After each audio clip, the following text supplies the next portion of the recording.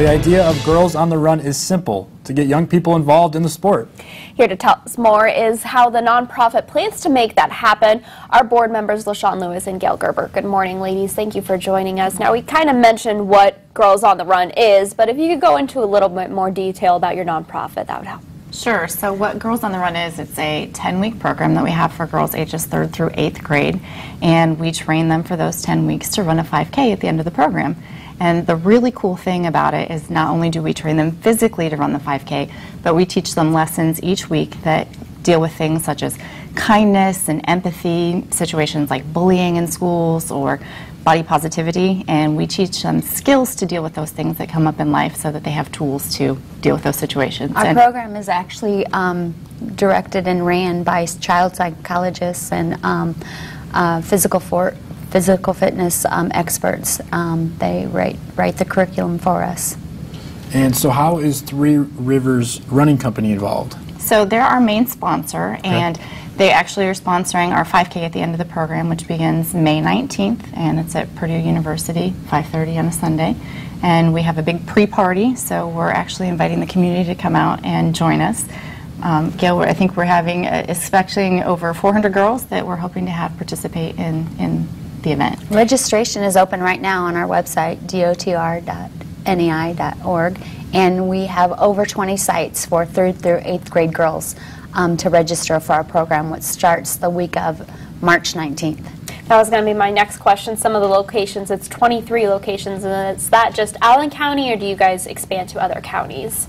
We are. We're all over Northeast Indiana. So um, uh, the, there are a lot of uh, sites in the majority of Fort Wayne Community Schools and East, East Allen County Schools, but um, we're launching um, over 20 sites right now. so the nice thing- registration is yeah. open. The nice thing too is that if you don't, if you have a girl that's interested in participating and she doesn't have a site that's near, we are still open and available to open new sites. So if you have a couple girls that are interested, check out the website and we can look at maybe doing an extra site for you as well. And with the sites, you mentioned that there's a lot of them. Uh, we have viewers from Western Ohio this morning. Are you, any plans to go across the state border that way, or? Well, like Gail mentioned, Girls on the Run is a national organization, and we have over 250 Right. councils. Right. So there are um, different locations and councils in Ohio and each of the states So you're around the U.S. specifically like Fort Wayne. Northeast Yeah, Indiana. to do that though, also, we're calling out for coaches and volunteers for our program. So it'd be a great thing for a college student or a high school student that needs service hours. Um, um, so we're calling out for volunteers. Um, we had over 50 coaches around Northeast Indiana last um, spring to launch our. We had over 300 girls last spring um, to launch our sites. Um, so um, get involved on our website. Um, we'd love to have you.